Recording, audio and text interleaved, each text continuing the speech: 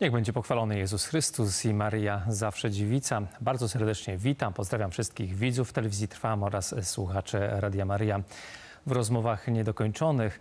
Dziś 43. rocznica wyboru kardynała Karola Wojtyły na stolicę Piotrową. Zatem i tematem naszego spotkania no, nie mogła być inna rzeczywistość, jak właśnie ta związana z tym dniem, a dokładnie chcemy podjąć temat związany z tym, jak zmienił się świat od tej daty 1978 roku. A temat ten e, podejmiemy z księdzem profesorem Pawłem Bortkiewiczem, Chrystusowcem, którego bardzo serdecznie e, witam. Niech będzie pochwalony Jezus Chrystus i Maria zawsze dziewica. Teraz i zawsze kłaniam się bardzo serdecznie Ojcu i kłaniam się naszym słuchaczom. Cieszymy się, cieszymy się niezmiernie, że to właśnie z e, księdzem profesorem będziemy mieli tę sposobność przeżyć ten dzisiejszy wieczór, zarówno na antenie telewizji Trwam i Radia Maria w tej pierwszej części, w drugiej części na antenie Radia Maryja. Dzień szczególny, 43. E, rocznica. Pewnie też e, ci spośród nas, którzy żyli wówczas, e, to mają takie swoje skojarzenia z tym momentem. Wielka pewnie radość, euforia. To takie do pozazdroszczenia tych wszystkich, którzy partycypowali w tym momencie. Tym bardziej, że akurat ta godzina, teraz 16-17 e, minut po godzinie 18, to są dokładnie te momenty, dokładnie te momenty 43 lata temu. Bodajże kwadrans po godzinie 17, Ojciec Święty to usłyszał to pytanie, czy przyjmuje, prawda? E, a właśnie 18 minut po godzinie 18, prawie, prawie że idealnie co do tej chwili e, z kaplicy sykstyńskiej ten biały dym, pewnie wytęskniony dym oznaczający, że no, został wybrany nowy papież. I co ciekawe, to chyba po raz y, w ciągu dwóch miesięcy dwukrotnie, prawda, ten e, biały dym się ukazał. I o godzinie 18.44 na balkonie Bazyliki pojawił się kardynał Felici, który wypowiedział te historyczne słowa. Zwiastuję wam radość wielką mamy papieża. Mamy papieża, 1978 rok. To szczególny czas i może rozpocznijmy realizację naszego tematu, jak zmienił się świat po 16 października 1978 roku od pewnego rodzaju spojrzenia na sytuację, w jakiej znajdował się świat. Oczywiście w dużym takim uproszczeniu, akurat właśnie w tym roku. Księże profesorze, wielu wyczekiwało na zmianę i wielu wiązało również te zmiany z tym nowym pontyfikatem z wielu powodów. Gdybyśmy mogli wyszczególnić przynajmniej kilka takich zasadniczych powodów. To jest bardzo rozległe pytanie i y, na pewno trudno będzie na nie wyczerpująco odpowiedzieć, ale gdybym miał się pokusić o taką próbę odpowiedzi, to wskazałbym na kilka takich płaszczyzn. Rzeczywiście y, były te oczekiwania w sferze świata. Y, świata, który no, był już światem zasadniczo po y, okresie zimnej wojny, takiej brutalnej, drastycznej, ale te podziały, które wynikły po II wojnie światowej, które wyraziły się w tym podziale y, świata przedzielonego żelazną kurtyną, one trwały. One przejawiały się w nowych postaciach, w nowych formach świata kolonializmu, neokolonializmu, y, y, a więc właśnie wyzysku pewnych rejonów świata przez kraje, przez kraje bogate. Zwracał na to bardzo mocno uwagę poprzednik, nie bezpośredni, ale niemal bezpośredni poprzednik świętego Jana Pawła II, święty Paweł VI, y, który właśnie akcentował te, te podziały. A więc była sytuacja no, pewnej destabilizacji politycznej.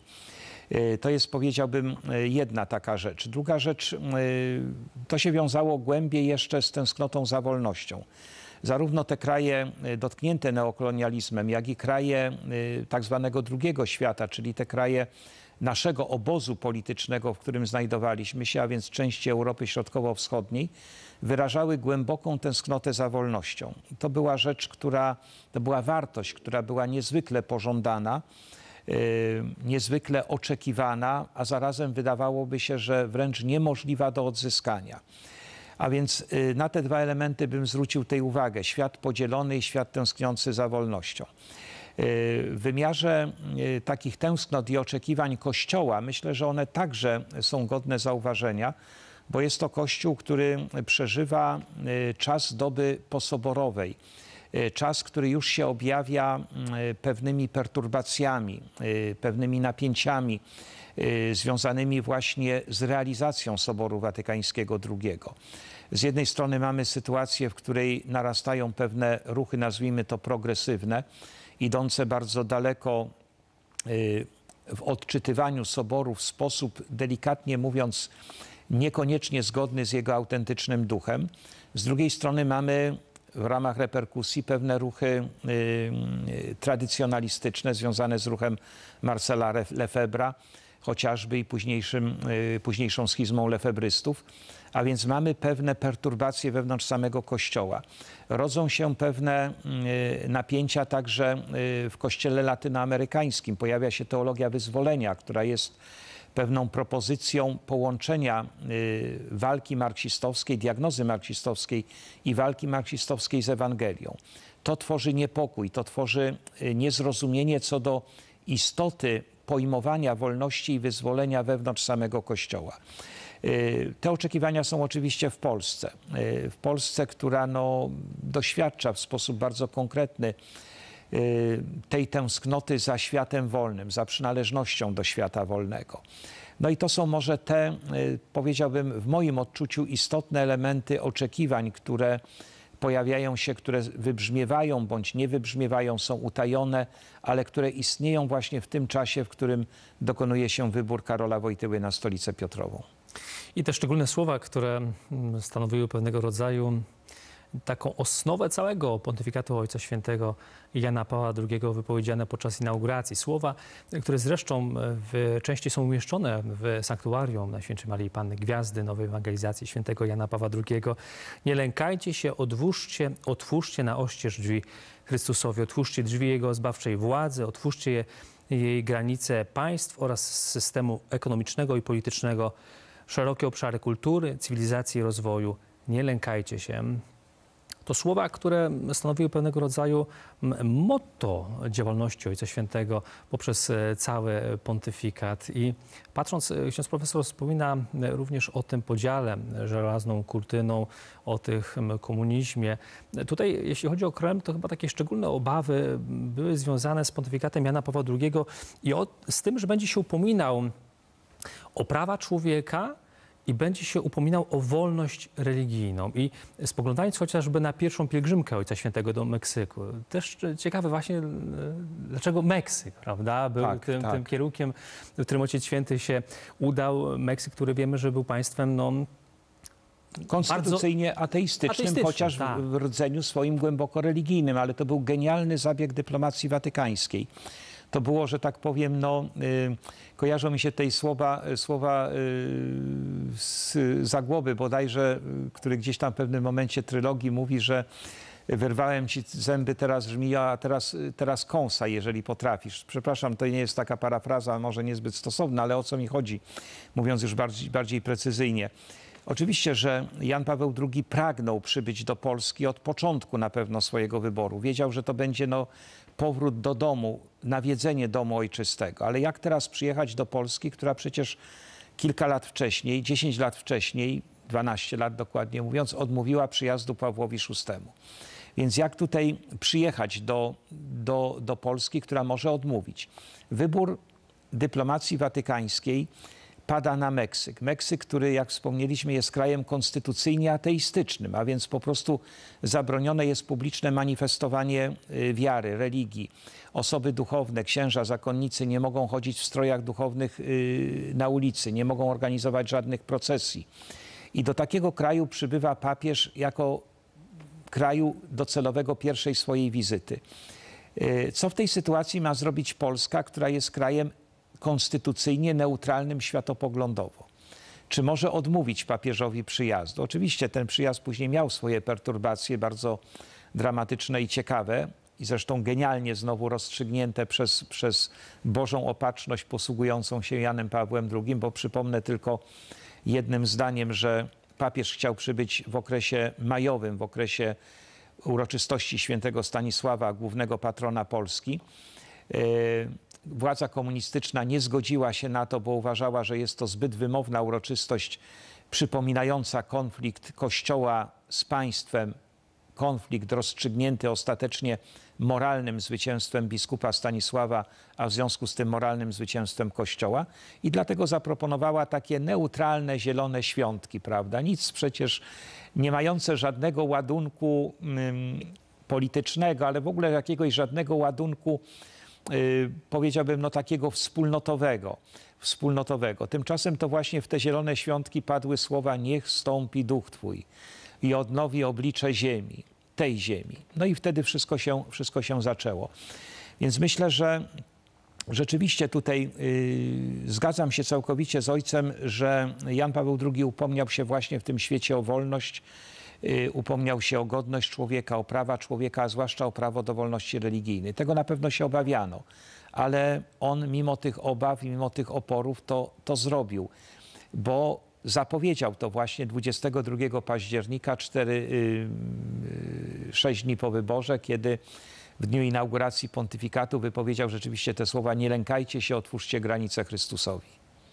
Tak, pielgrzymka miała miejsce 25 stycznia 1979 roku, a w marcu tegoż samego roku, jeśli chodzi o ten aspekt wolności religijnej, mm, no, została wydana pierwsza encyklika Jana Pawła II, e, Redemptor Hominis, w której również Ojciec Święty e, także od tej strony właśnie, tutaj mamy praktykę, a tu mamy również i, i teorię zawartą w tym dokumencie mm, papieskim, gdzie Ojciec Święty również upomina się o, o tę wolność religijną. Ale gdybyśmy tak mieli też spojrzeć na poszczególne encykliki, bo to jest 14 prawda, wydanych, to te aspe takie aspekty, które gdzieś wyłaniają się z nich? Czy jest też taka myśl przewodnia, czy jednak one są w zależności od sytuacji, od wyczytywania e, danego kontekstu, bo też i pielgrzymki, o których z pewnością wspomnimy, to był, myślę, że dla Ojca Świętego z jednej strony moment, y, kiedy spotykał się z ludźmi, kiedy on dużo dawał, ale też czerpał od ludzi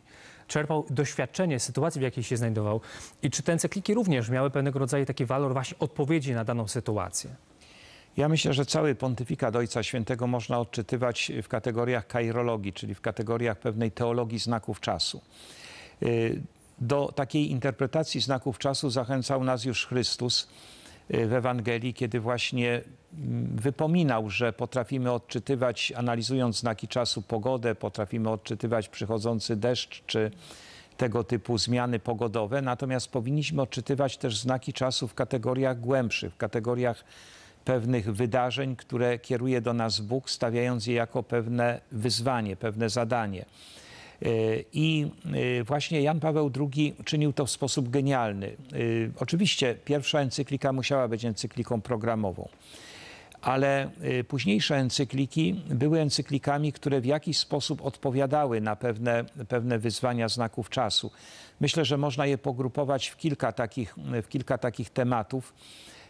Rzeczywiście, kiedy je sobie określimy, to myślę, że też można łatwo dostrzec tutaj, że one były faktycznie odpowiedzią na wydarzenia współczesności. Jedną taką grupę stanowią encykliki no, na wskroś teologiczne i od nich rzeczywiście rozpoczął Jan Paweł II, ale myślę, że to też był zabieg bardzo celowy, związany z jego tym programowym, także programowym przesłaniem wypowiedzianym w Polsce, iż człowieka nie można zrozumieć bez Chrystusa. Człowieka, szerzej mówiąc, nie można zrozumieć bez Boga.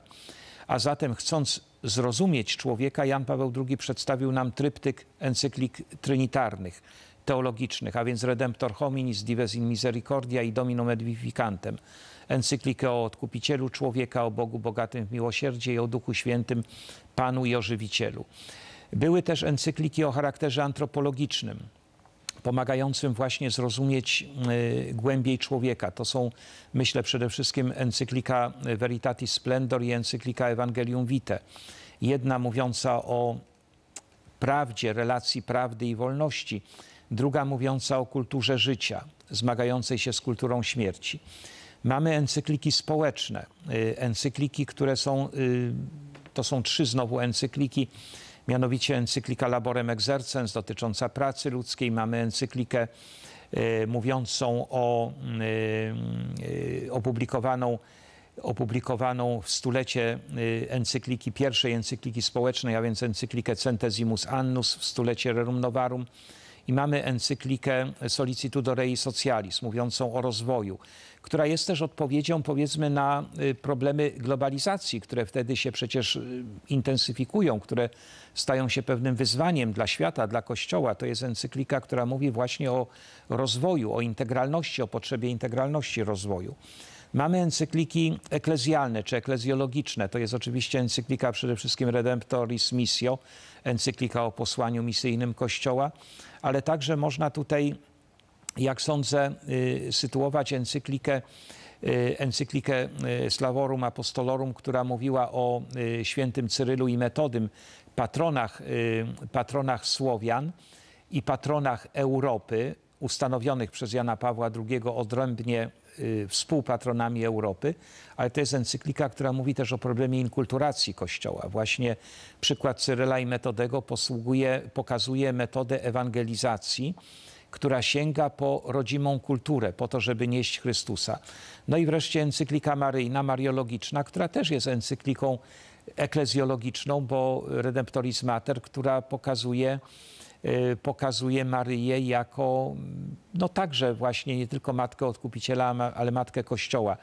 Y, więc myślę, że y, nie wiem, czy wymieniłem encyklika, chyba nie wymieniłem wszystkich encyklik, ale Fides et Ratio, no to też jest encyklika antropologiczna. No i właśnie, chociażby encyklika Fides et Ratio, która umknęła mi, a która jest niezwykle ważną i przepiękną encykliką, ona zostaje napisana w dobie ogromnego kryzysu racjonalności, w dobie, w którym, jak często y, kojarzy mi się ta scena z imienia Róży Umberto Eco, kończy się y, zarówno powieść, jak i film kończy się pożarem klasztoru i biblioteki, a więc płonie wiara i płonie rozum. I główny bohater wyrusza jako włóczęga przed siebie, bez celu. No właśnie to jest obraz świata współczesnego. Płonie wiara, płonie rozum, Mamy świat zideologizowany, ludzie błąkają się bez celu, obijając się od ściany do ściany. I w tym momencie Kościół przypomina, miej odwagę myśleć, posługując się wiarą i rozumem. Spoglądając na poszczególne dokumenty Ojca Świętego Jana Pawła II, to widzimy, jak, jaki zakres prawda, zainteresowań, jaki zakres też pewnego rodzaju dialogu e, ze światem.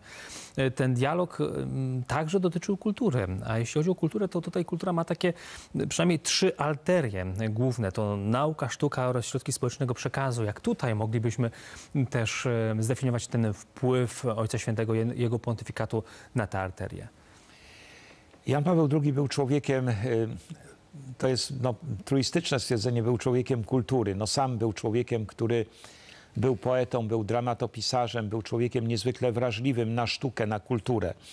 Ale kulturę pojmował za świętym Tomaszem bardzo szeroko, jako podstawowy sposób bytowania człowieka na ziemi, a więc pojmował ją jako pewną cechę, która sprawia, że człowiek bardziej staje się człowiekiem. Traktował ją jako pewien czynnik antropogenny, tworzący człowieka, kształtujący go.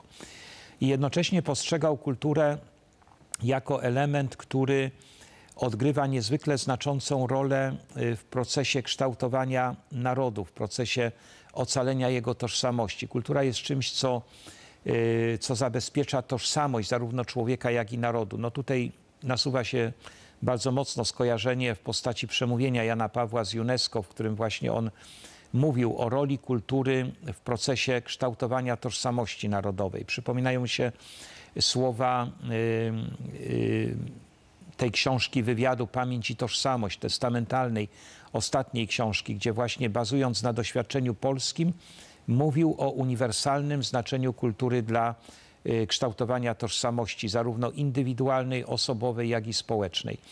Y, ja jeszcze wspomnę tutaj jeden, y, jedno takie skojarzenie, które gdzieś we mnie zawsze głęboko tkwi, kiedy myślę o tej sferze zaangażowania papieża w kulturę. Kiedy pisał swoje wspomnienia w postaci książki Darii Tajemnica, wspominał okres wybuchu II wojny światowej i mówił o tym, że właściwie jego pokolenie, no pokolenie Kolumbów moglibyśmy powiedzieć, poszło w przeważającej mierze do walki zbrojnej, podziemnej walki o niepodległość ojczyzny. Natomiast on sam zajął się wtedy słowem.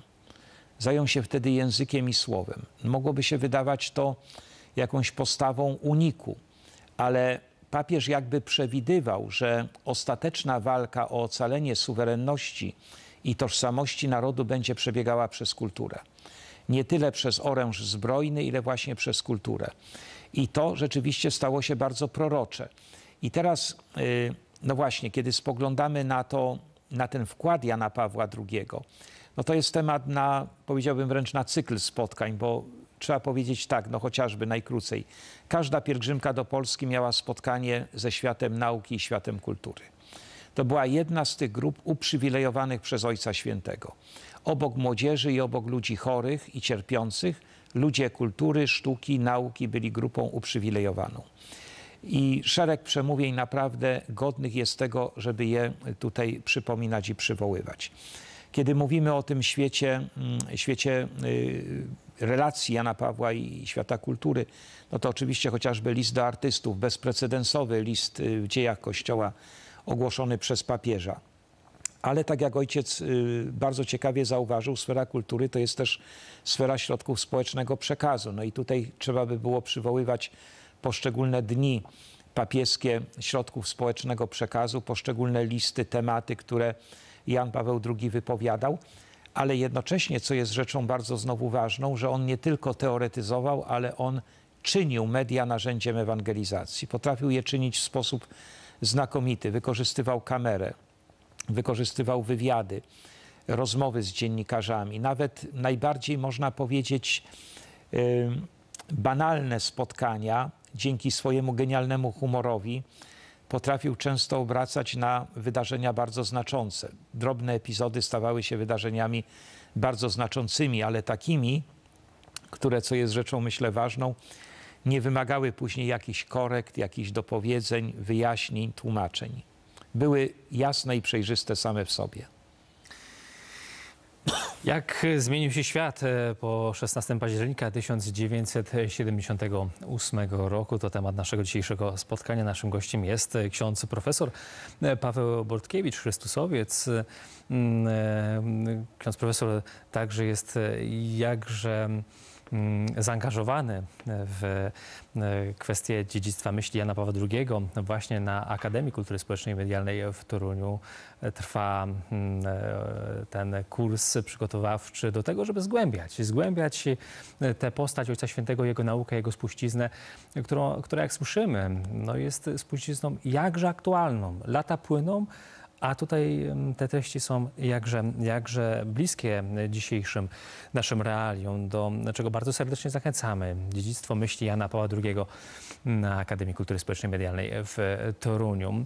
Moi drodzy, bardzo serdecznie również zapraszam, zachęcam do współtworzenia czasu naszego spotkania to wielkie bogactwo dialogu, spotkania na antenie Radia Maryji i telewizji trwa właśnie również z naszymi widzami oraz radiosłuchaczami, których serdecznie pozdrawiamy i zapraszamy. Numery kontaktowe do naszego studia z Polski Północnej 56 657 0011, z Polski Południowej 56 657 0012. Dwa numery w naszej rodzinie 536 600 300 lub 536 600 400 i dwa numery spoza granic naszej ojczyzny 48 56 657 0013 lub 48 56 657 0014. Jak zmienił się świat e, po 16 października 1978 roku? Ten świat w rozumieniu globalnym, o czym wspomina e, ksiądz profesor, za co bardzo serdecznie dziękujemy, ale w tym również wymiarze takim mm, osobistego życia, bo to z pewnością był pewnie w wielu wypadkach taki przewrót e, kopernikański. Do podzielenia się także i tą rzeczywistością serdecznie zapraszamy. Odbierzmy pierwszy telefon. Bardzo proszę. Halo. Witam serdecznie, dobry wieczór, szczęść Boże. Szczęść Boże. E, ojca prowadzącego, jak również księdza profesora e, Pawła Bortkiewicza. Witamy, a kogo witamy i skąd? Maciej z Warszawy. Ksiądz profesor mnie pewnie kojarzy, my się troszeczkę tak znamy. W każdym razie chciałbym powiedzieć o, takim, o takiej sytuacji, że ja już rzeczywiście należę do pokolenia, które urodziło się właściwie już po inauguracji pontyfikatu Jana Pawła II, a zatem e, to jest to pokolenie, które rodziło się już, e, można powiedzieć, w tym czasie. Natomiast jako, że troszeczkę sobie spojrzałem na te najistotniejsze takie przesłania Jana Pawła II, y, postanowiłem zerknąć do notatek osobistych z lat 62-2003. Żeby nie przedłużać, chciałem tylko mały fragment, jeżeli można, z tego przytoczyć, który odsłania pewną taką bardzo antropologiczną, a równocześnie etyczną postawę em, papieża. Nim jednak papieża to jeszcze kardynała Wojtyły. Dnia 5 października 78 roku mój drogi przyjaciel biskup, biskup Andrzej Deskur doznał nieoczekiwanego ataku, który spro, sprowadził na niego częściowy paraliż. Po miokuracji y, w poliklinice Gemelli, y, z kolei w Szwajc- a z kolei w Szwajcarii parali- paraliż nie cofnął się. Dnia 14 odwiedziłem Andrzeja szpitalu, udając się na konklawę, które miało dokonać wyboru następcy po śmierci Jana Pawła I. Trudno mi nie, wziąć, e, nie wiązać faktu, że w dniu 16 października zostałem wybrany owym następcą z wydarzeniem, które o trzy dni poprzedziło ten wybór. Ofiara mojego brata w biskupstwie Andrzeja wydaje mi się jakby przygotowaniem do tego faktu. Tutaj całości e, nie przytaczam, jeszcze jedno, dwa zdania. Wszystko zostało wpisane poprzez jego cierpienie w tajemnicę krzyża i odkupienia dokonanego przez Chrystusa. I ostatnie zdanie. Andrzej, pracując od lat y, 50. w Komisji Środków Przekazu, ostatnio jako jej przewodniczący, to oczywiście notatka z października 78 roku, wprowadził mnie w wiele spraw istotnych Stolicy Apostolskiej. Ostatnim słowem tej inicjacji stał się jego krzyż. Debitor factus sum. Stałem się dłużnikiem. Otóż e, zauważam taki jeden bardzo istotny element w życiu Jana Pawła II.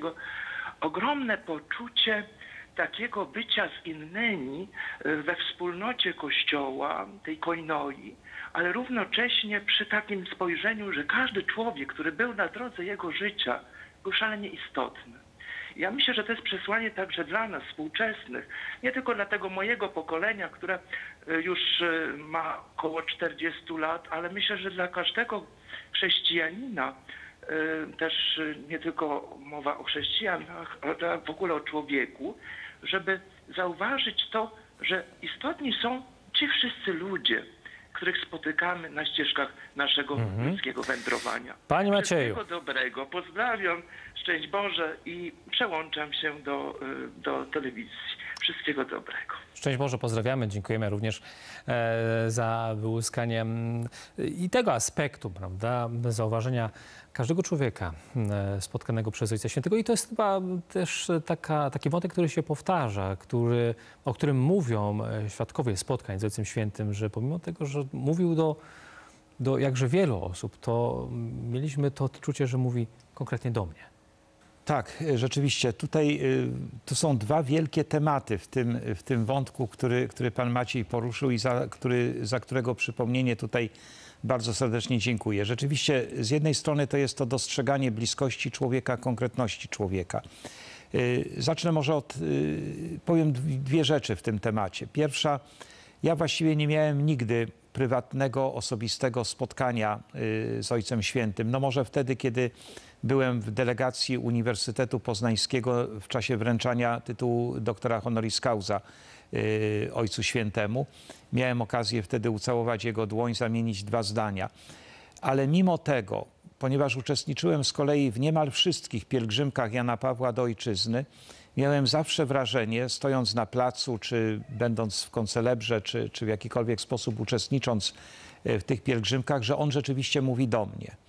Nie odbierałem, nie odbierałem tych przesłań jako przesłań y, mówionych do narodu, tylko jako rzeczywiście mówionych do mnie. Czułem niejednokrotnie po prostu y, ten bezpośredni kontakt. To, że Ojciec Święty miał genialne i powiedziałbym no, jakieś nadzwyczajne wręcz zdolności y, pamiętania twarzy, pamiętania zdarzeń, pamiętania osób, to z kolei przypominam sobie taką historię zapisaną, odczytaną gdzieś przed laty, jak w czasie jednego ze spotkań w Castel Gandolfo była u niego y, na audiencji y, w czasie obiadu y, z, z, jego udziałem była pewna pani fizyk z Rosji, bodajże z Instytutu w Dubnej. Mówiła wtedy o swojej chorej córce. Za dwa czy trzy lata ponownie zjawiła się u Ojca Świętego i on miał ją zapytać, Irina, jak się czuje twoja córka? Bo ja się codziennie modlę o jej uzdrowienie.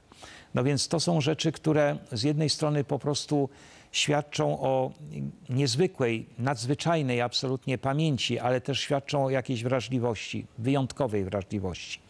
Ale drugi temat, który został tutaj, jak sądzę, poruszony i na który warto zwrócić uwagę, to właśnie ta interpretacja kontaktu z człowiekiem e, poprzez pryzmat Boga.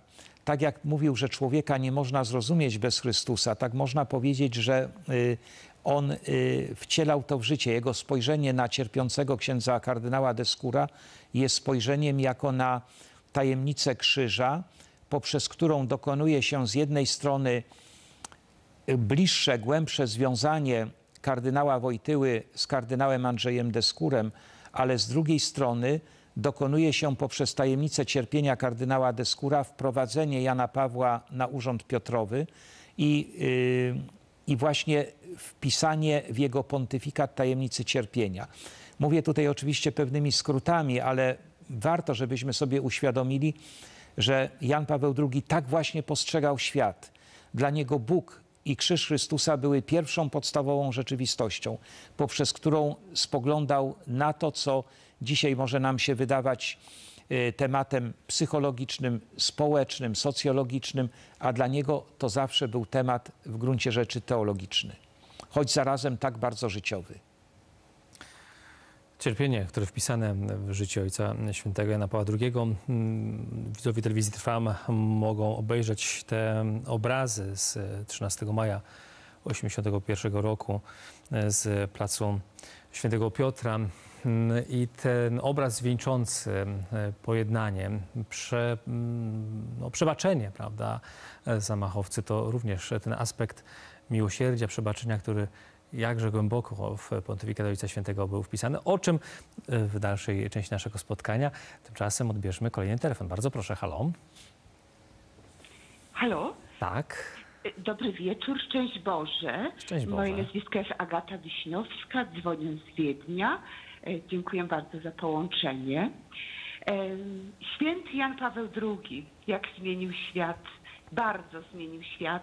Żyję od 35 lat w Wiedniu. Obserwuję bardzo sytuację w Polsce i zawsze towarzyszyłam naukom, spotkaniom Jana Pawła II. Bardzo dużo dla nas zrobił. Nie możemy tego zapomnieć. Wręcz przeciwnie, musimy przekazywać to dalej. My jesteśmy pokoleniem, którzyśmy go jeszcze znali.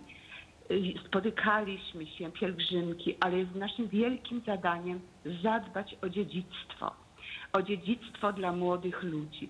Mnie bardzo serce boli, jak słyszę, jak polscy politycy bardzo niszczą naród polski, młodzież. A święty Jan Paweł II co by na to powiedział? Przecież on jest znany na całym świecie. Tak wiele dał nam nadziei, wziął nam strach. My się musimy wszyscy po prostu od nowa nauczyć słuchać tego, co on nam przekazał. To był wielki Jan Paweł II, święty papież. Dbajmy o to i nie zapominajmy. Naprawdę z wielką radością dbamy tutaj o dziedzictwo Jana Pawła II. Organizujemy msze święte w katedrze w Wiedniu, koncerty, wystawy i od jutra rozpoczynamy w polskim sanktuarium na Kalembergu niedzielę z papieżem. Nie lękajcie się. O 10 godziny jest nauka dla dzieci, a o godzinie 12 dla dorosłych. Także to jest dla nas wielka łaska, że możemy w takich dziełach uczestniczyć i proszę wszystkich, którzy słuchają obojętnie z której części świata, nie możemy zapomnieć, że Bóg dał nam świętego Jana Pawła II na te nasze czasy. Bóg zapłać. Szczęść Boże. Szczęść Boże, Pani Agato. Bardzo serdecznie pozdrawiamy. Dziękujemy. I te słowa, które mnie osobiście bardzo ujęły, że Ojciec Święty zabrał nasz strach. Zabrał nasz strach i to rzeczywiście jest y, element, który warto tutaj y, powiedzieć. Y, Na pewno trudno jest, rzeczywiście, z jednej strony trudno jest wskazać jakieś takie słowo, zdanie Jana Pawła, które byłoby no, jedynym wybranym, tym najcenniejszym. Ale gdyby rzeczywiście pokusić się o taki ranking, który w gruncie rzeczy jest trochę niesensowny, al, bo wiele z tych słów, bardzo wiele, ma ogromną moc znaczeniową, to jednak myślę, że te słowa nie lękajcie się, mają faktycznie szczególne znaczenie. Myślę, że dla mojego pokolenia, które żyło właśnie no, w dobie jeszcze schyłkowym, ale przecież Polski mm, ludowej, Polski komunistycznej, która wtedy nie sądziliśmy, że jest w etapie schyłkowym, schyłkowym. Nic nie wskazywało na to, że świat się zmieni, ani układ geopolityczny, ani jakieś y, tendencje w Europie. Przecież takich tendencji nie było znaczących, które by zmieniały świat. Padły te słowa, nie lękajcie się. Ja myślę, że właśnie my, którzy je usłyszeliśmy, y, no po prostu przyjęliśmy te słowa, zostaliśmy wyzwoleni z lęku. Wielu z nas to, to znalazło swój wyraz właśnie rok później, w 1979 roku, kiedy wbrew y, różnym, y, różnym naciskom organizacyjnym ze strony władzy, różnym naciskom ideologicznym, no przypomnę tylko hasłowo jeden obraz, kiedy w telewizji publicznej pokazywano przed przyjazdem papieża masowo produkowane trumny y, informując zarazem, że istnieje ryzyko, aby właśnie, że w ścisku, w tłoku można po prostu zginąć, można zostać stratowanym. Dlatego już się po prostu tutaj odpowiednie służby szykują na ten pogrom, który może mieć miejsce. Z drugiej strony oczywiście przestrzegano, bo w takim tłumie będą masowe kradzieże, rabunki, może gwałty, a więc po prostu nie warto wychodzić z domu. Nie warto wychodzić z domu. Ten obraz trumien pokazywany w publicznej telewizji jako zapowiedź wizyty papieża może być pewnego rodzaju symbolem. I właśnie wtedy Polacy, my wyszliśmy na ulicę, wyszliśmy y, na spotkania z papieżem bardzo tłumnie. Przecież w setkach tysięcy ludzi. I to było właśnie, myślę, podjęciem tego nie lękajcie się. Z tego zrodziła się solidarność, z tego zrodziła się przemiana nie tylko Polski, ale naszej części Europy. I myślę, że to jest element, element niezwykle rzeczywiście istotny i warty wspomnienia. On zabrał nam lęk, wyzwolił nas do odwagi, do bycia sobą. Jak zmienił się świat po 16 października 1978 roku? Temat naszego spotkania. A naszym gościem jest ksiądz profesor Paweł Bortkiewicz, Chrystusowiec e, i nasi drodzy widzowie oraz e, słuchacze, których pozdrawiając jednocześnie zapraszamy do współtworzenia. Odbierzmy kolejny telefon. Bardzo proszę, halo. Już? Tak, zapraszam. Można mówić? Jak najbardziej. Niech będzie pochwalony Jezus Chrystus. Na wieki Co mówi Amen. Józefa z Wrocławia.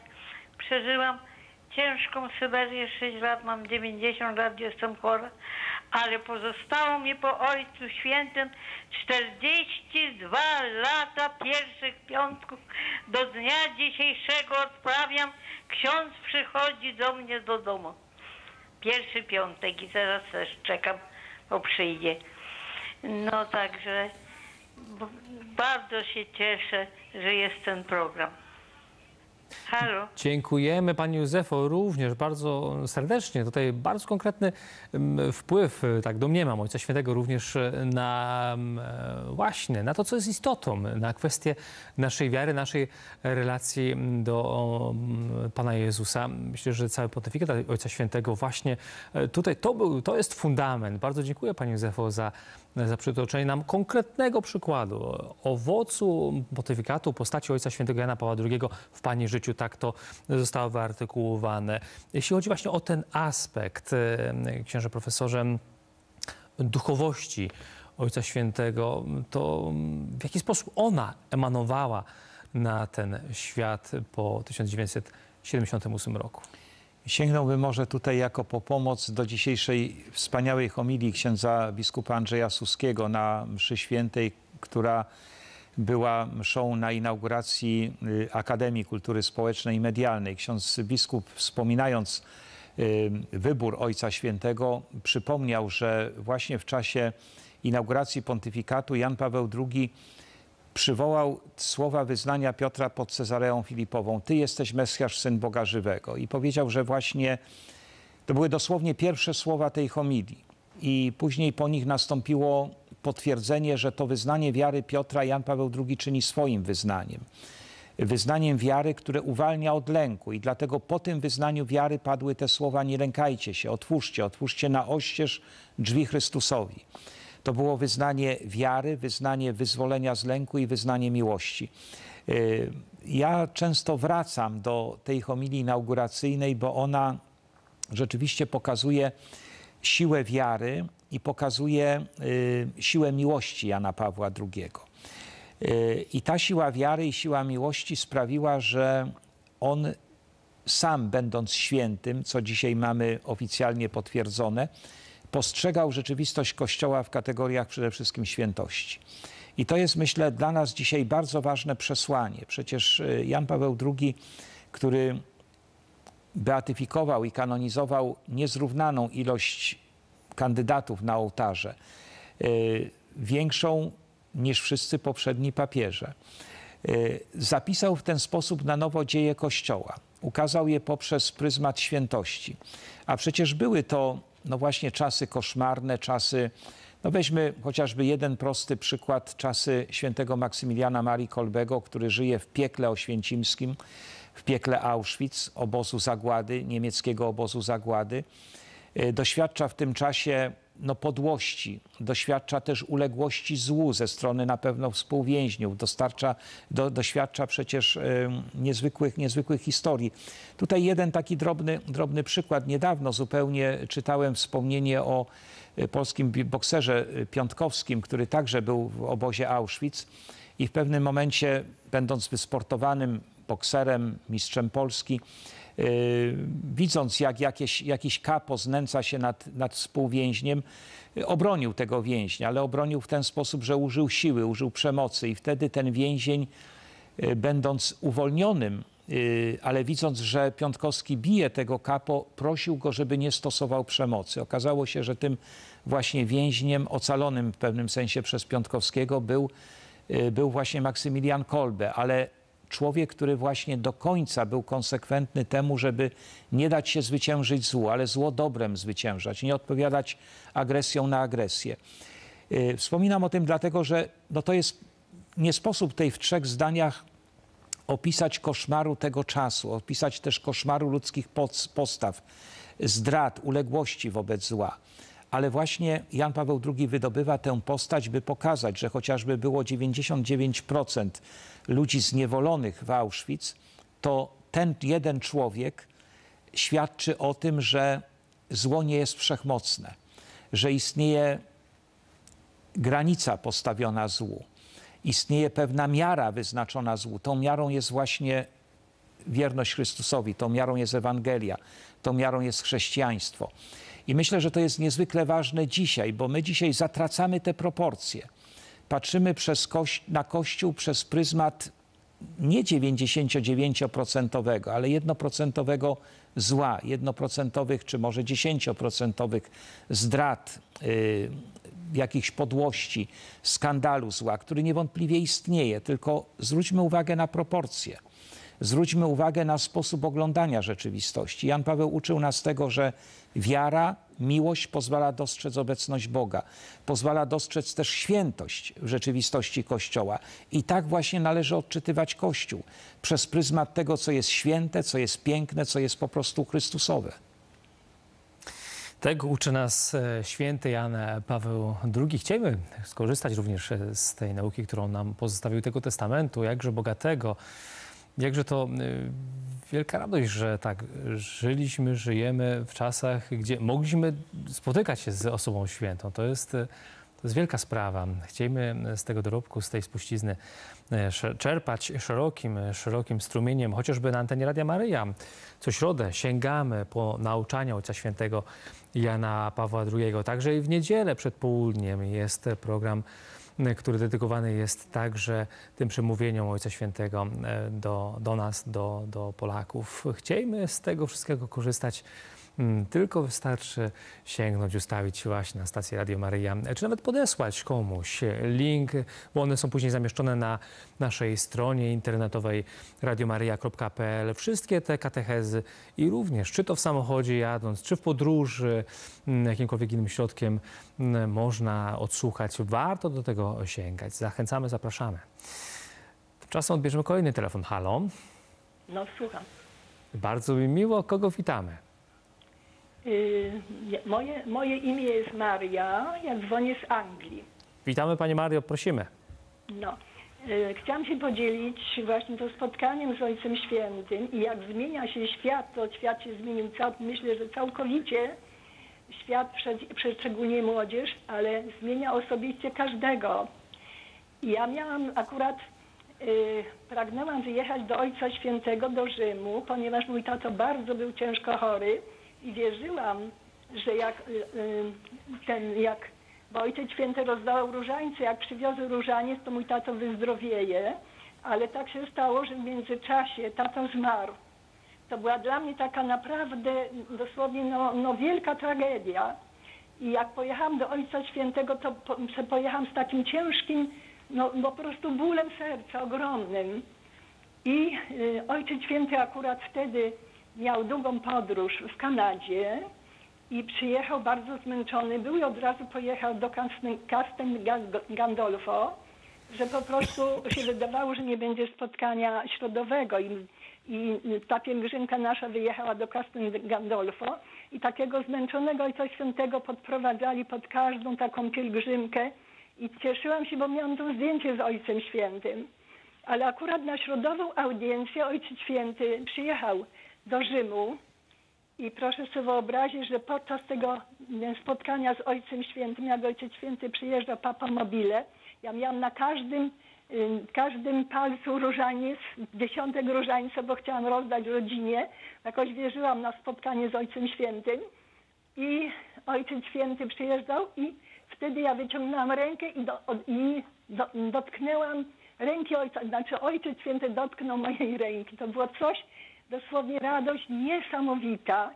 A później właśnie po mszy świętej Ojciec Święty podchodził do barierki chorej, dosłownie pod, przed każdym chorym, to nawet uklękał i całował chorego.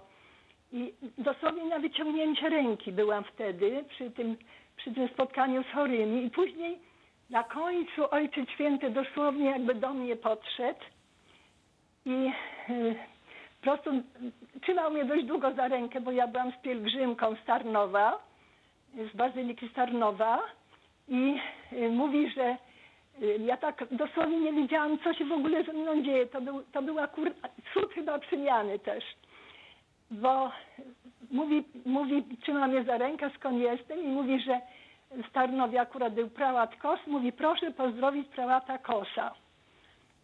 I po tym spotkaniu z Ojcem Świętym za pięć lat, a jeszcze, jeszcze że y, zobaczyłam, że miałam to, że było, było zdjęcie, a myśmy już wyjeżdżali, to zdjęcie, taka osoba, jakaś taka, która była kimś tam właśnie w Rzymie, wysłała mi to zdjęcie z Ojcem Świętym, że miałam to zdjęcie. I za pięć lat to chyba Ojciec Święty mi dał taką moc, że przeżyłam operację, bardzo poważną operację czustki i że lekarz mnie przygotował na śmierć. A ja wierzyłam, bo to było w kwietniu, jak dożyję 13 maja, jak Matka Boża uratowała Ojca Świętego, to i mnie uratuje autentycznie. 13 zostałam cudownie uratowana przez Matkę Bożą Fatimską. Pani Ja Mario, tak bardzo dziękujemy również za to świadectwo, które Pani do- wyartykułowała, które płynie z, e, z głębi serca i z doświadczenia spotkania z Ojcem Świętym. I to są myślę, że mm, no, takie bardzo osobiste sprawy, które związane są ze spotkaniami z Ojcem Świętym i pewnie wielu spośród nas miało takie doświadczenie pewnego rodzaju właśnie przemiany, jak to Pani bardzo ładnie wyartykułowała, przemiany mojego życia, czy takiego czy innego aspektu mojego życia. I teraz, y, księże profesorze, spoglądając y, właśnie na te pokolenia, które miały tę możliwość spotykać się z Ojcem Świętym, y, które wsłuchiwały się w Jego naukę, kiedy tak też i często byliśmy te brawa Ojcu Świętemu, No, na ile teraz jesteśmy wierni Jego nauczaniu? To jest bardzo bolesne pytanie. Nie waham się powiedzieć właśnie bardzo bolesne. Ja jeszcze może wrócę na chwilę do tego świadectwa pani Marii, która w moim odczuciu, tak jak słuchałem, zawarło takie dwa elementy. Z jednej strony osoba Ojca Świętego pomogła przeżyć tą, ten ból, tą traumę po śmierci ojca pani. Yy, I myślę, że to nie jest tylko to jest doświadczenie osobiste, ale też w jakiś sposób pamiętajmy, że to było też doświadczenie nasze wspólnotowe. Wtedy, kiedy znaleźliśmy się w czasie stanu wojennego, kiedy przeżywaliśmy na okres upokorzenia, yy, ogromnej niepewności, po rozbudzeniu nadziei i wolności przeżyliśmy teraz lęk, traumę, bo wydawało się, że Polska została znowu yy, po prostu zniszczona, unicestwiona. I właśnie wtedy y, Ojciec Święty raz poprzez swoje gesty solidarności, y, dyskretne, ale zarazem bardzo wyraziste, poprzez tą świecę zapalaną w oknie watykańskim w okresie stanu wojennego, poprzez modlitwę w intencji naszego narodu, naszej ojczyzny, poprzez pielgrzymkę w 1983 roku. Byłem na krakowskich błoniach i nie zapomnę do dziś tego tembru głosu, który mówił, chociażbym przechodził przez ciemną dolinę, zła się nie ulęknę bo Ty jesteś ze mną. I chociaż to były słowa psalmu, który przecież my kapłani odmawiamy regularnie w ramach brewiarza, ja usłyszałem ten psalm w takim wydaniu po raz pierwszy. Ja wtedy znowu poczułem to, że mam prawo być wyzwolonym z lęku. Dzięki niemu przeżywaliśmy właśnie traumy i doświadczenia życiowe i o tym trzeba pamiętać. I przeżywaliśmy także cudy, cuda. Tak jak ten cud uzdrowienia, o którym pani Maria wspominała, dotyczący jej życia, ale przecież wiele takich cudów my przeżyliśmy, no całe nasze dzieje właśnie po roku 78 to jest jakiś cud. I teraz właśnie pytanie właśnie, pytanie o naszą pamięć dotyczącą tej rzeczywistości i naszą tożsamość. Zastanawiam się nieraz, czy wyrzucając tę pamięć, niszcząc ją, czy my naprawdę nie zdajemy sobie sprawy z tego, jakie to ma konsekwencje. Jeżeli brukamy tę pamięć o Ojcu Świętym, jeżeli mówimy, przepraszam, że użyję tego słowa, które dla mnie brzmi jak wulgaryzm, ale pozwolę go sobie tej użyć, dewojtylizacja, prawda, odrzucenie y, wkładu nauczania Jana Pawła II w postrzeganie Kościoła, jakaś nowa interpretacja Kościoła wbrew Janowi Pawłowi II, to dla mnie brzmi po prostu nie tyle obrazoburczo nawet, ale wręcz wulgarnie. Jeżeli takie głosy się pojawiają, no zastanawiam się, jaki jest cel tych głosów. Czy my zdajemy sobie sprawę z tego, że to jest burzenie rzeczywistości, to jest nie tylko podcinanie gałęzi, ale to jest po prostu jakiś, jakiś akt samobójczy. Y, nie dlatego, że Jan Paweł II był genialny, tylko dlatego, że on był świadkiem Chrystusa. On był autentycznym świadkiem Chrystusa i przyniósł nam Chrystusa w najczystszej y, postaci, zarazem w brzmieniu, które było dostosowane do naszej współczesności albo podejmiemy realną pamięć i będziemy realizowali dziedzictwo Jana Pawła II, albo dokonamy rewojtylizacji naszego Kościoła w duchu właśnie Jana Pawła II, albo będziemy stawali się coraz bardziej instytucją społeczno-charytatywną, miotaną z jednej strony zasadami nieudolnie realizowanego PR-u, a z drugiej strony y, zasadami dostosowywania się do świata, i wtedy będziemy po prostu ginąć. Jak zmienił się świat po 16 października 1978 roku? To temat naszego spotkania w ramach rozmów niedokończonych na antenie Radia Maria oraz telewizji Trwa. Naszym gościem jest ksiądz profesor Paweł Bortkiewicz, Chrystusowiec. Taka analiza smutna, aczkolwiek dająca dużo do myślenia jeśli chodzi o te ostatnie słowa, prawda? Bo widzimy, widzimy jak to wszystko dzieje się na naszych oczach i jakie są tego skutki. To również mm, możemy przyglądać się temu w niejednym, niejednym e, kraju. Moi drodzy, zapraszam kolejną osobę do współtworzenia czasu naszego dzisiejszego spotkania. Halo, bardzo proszę.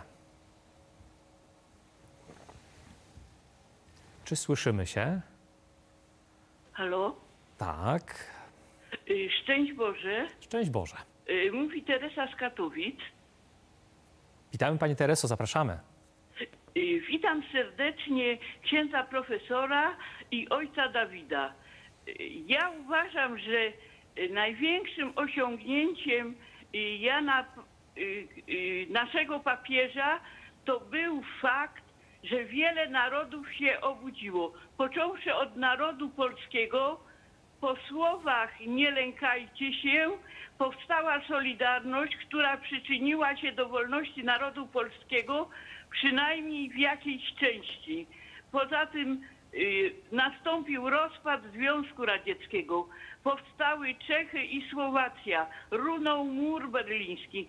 I te wszystkie narody poczuły się wolne, suwerenne, że mają prawo do kultury, do religii, że już nigdy komuna im nie przesłoni tych wartości, które, które dla nich są bardzo istotne. Mówię głównie o wierze katolickiej. I każdy śmiało może Pana Boga wyznawać, przyznawać się do tej wiary i ogólnie p- pobożność się pogłębiła. Takie jest moje zdanie. Szczęść Boże, Bóg zapłać. Szczęść Boże, Pani Tereso, bardzo dziękujemy również e, za mm, to zdanie, które Pani wypowiedziała. E, Tym bardziej dotyczące, myślę, że również rzeczywistości, która jest nam bardzo potrzebna. Mówi się o nowej ewangelizacji. Zresztą termin, który wyartykułował jako pierwszy Ojciec Święty Jan Paweł II. I w Polsce, w Nowej Polsce, Hucie. w Nowej Hucie, tak, w 79 Dziewiątym roku. roku. I, I następnie te, te słowa Ojca Świętego również, prawda? Niech stąpi duch Twój. I, I tutaj mamy, widzimy, jaki nastąpił wó- wówczas proces. I tutaj również y, w tym kontekście, księże profesorze, takie zapytanie, czy dzisiaj, bo widzimy, że e, od tych słów e, Ojca Świętego no, nastąpiły te przemiany. One się w wielkim stopniu przyczyniły do tych przemian, prawda, w naszej ojczyźnie. E, A dzisiaj, dzisiaj, czy potrzebujemy takiego ponownego wylania Ducha Świętego? Czy potrzebujemy właśnie ponownych tego rodzaju słów wypowiedzianych do nas, aby także nastąpiła ta przemiana? A jeśli nie, to czego potrzebujemy? Myślę, że potrzebujemy powrotu do tych słów, bo one nie, zmieni, nie straciły swojej ważności. Potrzebujemy powrotu właśnie najpierw do tego wyznania wiary, które Jan Paweł II wypowiedział na początku pontyfikatu. Ty jesteś Mesjasz, Syn Boga Żywego. Potrzebujemy powrotu do pierwszej programowej encykliki Redemptor Hominis, gdzie Jan Paweł II mówił, że no właśnie, cóż pozostaje nam w dzisiejszych czasach. Jeden zwrot serca, jeden kierunek umysłu, jeden odruch woli. Ad Christum Redemptorem Mundi, ad Christum Redemptorem Hominis, do Chrystusa Odkupiciela świata, do Chrystusa Odkupiciela człowieka. Warto, żebyśmy wracali, że właśnie w świetle wiary y, dokonujemy, dokonujemy głębokiego zdumienia nad wartością człowieka, nad wartością godności osoby ludzkiej. I właśnie jak pisał też w tej encyklice Jan Paweł II, to głębokie zdumienie nad godnością człowieka nazywa się chrześcijaństwem. To jest przepiękna definicja chrześcijaństwa. Głębokie zdumienie nad godnością człowieka nazywa się chrześcijaństwem.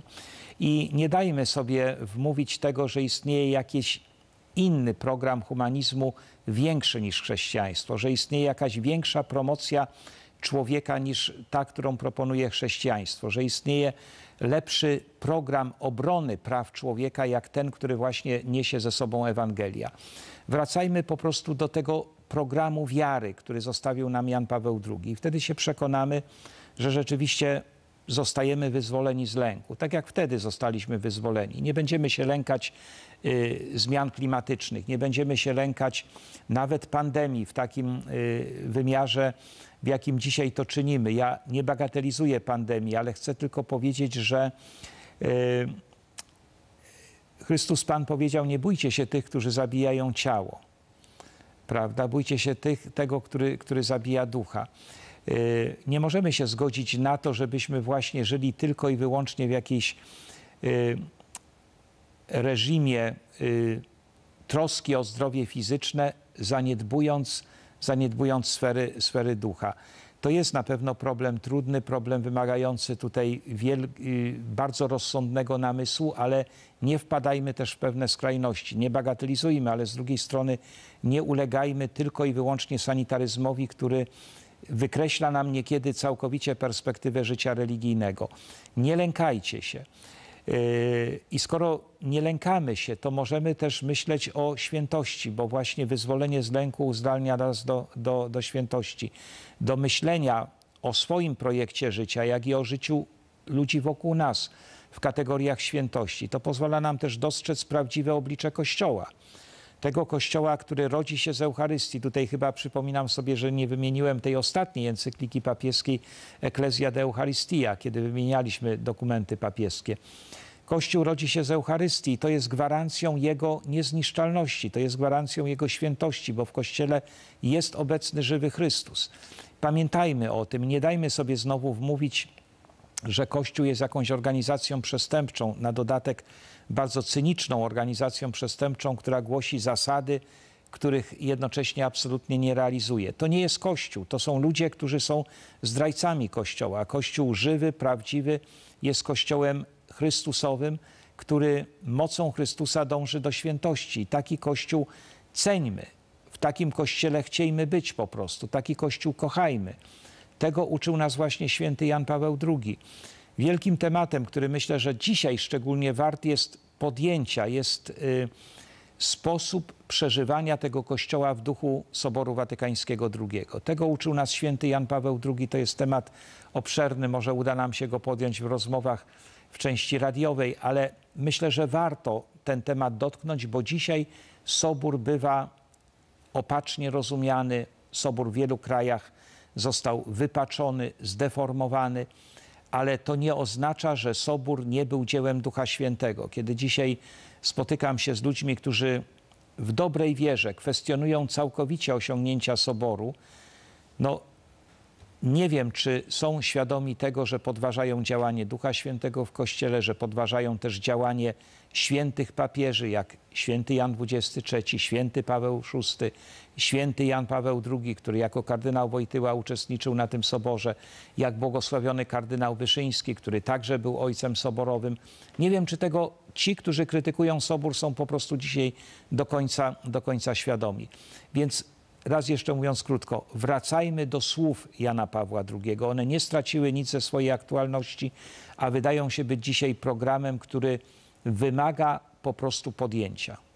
A będąc przy Ojca Świętego, to może i takie. Wy jesteście przyszłością świata, wy jesteście nadzieją Kościoła, wy jesteście moją nadzieją. To oczywiście słowa Ojca Świętego skierowane do młodzieży hmm, tuż po wyborze Ojca Świętego. Słowa, którym Ojciec Święty pozostał wierny i które realizował w swoim życiu. I tych, jeśli chodzi o te zmiany, które zaszły po 1988 roku, to również i ta Światowe Dni Młodzieży, bo Ojciec Święty doskonale wiedział, jak ważny jest młody człowiek, jak ważny jest każdy człowiek, a szczególnie jakże bliski był właśnie ten młody człowiek, na którym buduje się przyszłość Kościoła, świata. No i dzisiaj, co możemy czerpać w pracy z młodzieżą? Ojciec Święty w sposób fenomenalny rozumiał, znał młodzież, e, świetnie się komunikował z młodzieżą. Dzisiaj czasem tej komunikacji no, brakuje, prawda? Jakby taki mur gdzieś wyrasta. To prawda, że, to prawda, że brakuje. To jest jedna rzecz. Druga rzecz, na pewno zmieniła się mentalność młodzieży, zmienił się pewien też y, poziom y, odbioru w młodzieży. Na pewno tutaj by trzeba było analizować wiele czynników, ale Posłużę się tutaj no, takim pewnym, pewnym porównaniem, które być może też ilustruje, ilustruje mm, pewien problem i zarazem daje pewną wskazówkę. No, dzisiaj wielu młodych ludzi zachwyciło się słowami papieża Franciszka zejdźcie z kanapy. Wzywającego, wzywając słowami, które wezwały do zejścia z kanapy. I powiem szczerze, mnie te słowa oczywiście z jednej strony też poruszyły, no bo to są słowa pełne dynamizmu, Y, wezwanie do założenia butów i, i, i, zejścia z kanapy może poruszyć. Ale z drugiej strony, no, mówię sobie tak, po tych słowach można zejść i można pójść zarówno na na przykład pielgrzymkę, jak i pójść na strajk. To nie są słowa, które określają jakiś konkretny cel. Jan Paweł II mówił: Musicie od siebie wymagać, choćby inni od was nie wymagali. I zauważmy, że Jedne i drugie słowa zawierają w sobie pewien dynamizm, ale słowa świętego Jana Pawła II zawierają wymaganie. I myślę, że to, czego nam dzisiaj brakuje, nam, duszpasterzom, rodzicom, także wychowawcom, to odwagi stawiania wymagań. Odwagi stawiania wymagań, które właśnie miał odwagę czynić Jan Paweł II. Słynne spotkanie bodajże w Denver, kiedy on mówił o czystości. W Ameryce, w Stanach Zjednoczonych, dotkniętych przecież erozją, pornografii, seksoholizmu, y, w ogóle no seksu, pojętego jako pewien, pewna forma kultury. W tej właśnie Ameryce papież mówi do ludzi młodych o czystości. Wzywa ich do czystości i te kilkaset tysięcy bodajże młodych ludzi nagradza go owacją, bo może oni po raz pierwszy usłyszeli w życiu, że istnieje taka wartość, która buduje człowieka. Pośród tych braków, księże profesorze, jest jeszcze jeden, to brak czasu, ale to nie ma się co dziwić, bo postać świętego Jana Pawła II jest przebogatą. Dlatego Jan Paweł II postacią. łamał rygory czasowe. Spóźniał się, przedłużał. O proszę, to my starajmy się może jednak tutaj te rygory czasowe przestrzegać. Bardzo dziękuję księże profesorze za Dziękuję tę część naszego serdecznie. spotkania. Z em, wytęsknieniem oczekujemy na godzinę 21.30. Zapraszamy serdecznie na to kolejne nasze spotkanie. E, Temat bez zmiany. Gość jakże również czcigodny. Dziękujemy za podzielenie się Dziękuję tym doświadczeniem serdecznie. i tą wiedzą, prawda? Dziękuję serdecznie. I serdecznie zapraszamy na godzinę 21.30 na antenę Radia Maryja. Za tę część spotkania bardzo serdecznie dziękuję. Niech będzie pochwalony Jezus Chrystus i Maryja zawsze dziewica.